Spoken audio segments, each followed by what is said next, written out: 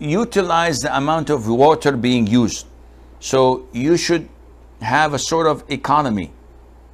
A lot of us just opens the tap, the faucet, and performs wudu in an amount that is a lot, which is not according to the sunnah, which is not at all recommended in Islam. The Prophet alayhi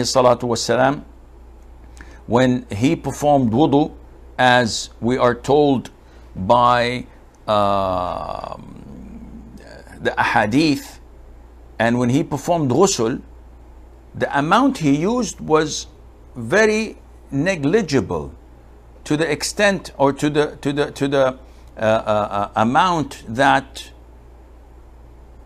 the companion said he used to perform ghusl with one sa' and he used to perform wudu with one mud. And these are measurements of the size of a container.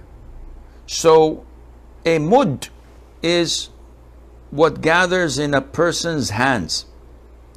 And if you put water, definitely it's not going to be a lot, maybe 300 ml, milliliter. But if you put rice or dates and fill it up to the rim, and then you put it in a vessel, usually it's going to be about 600 to 700 milliliters. This is his wudu.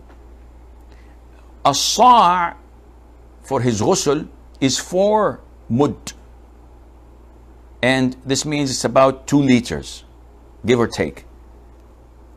When we perform wudu, we use at least five liters because the tap is running. And this is totally wrong and not uh, permissible. I think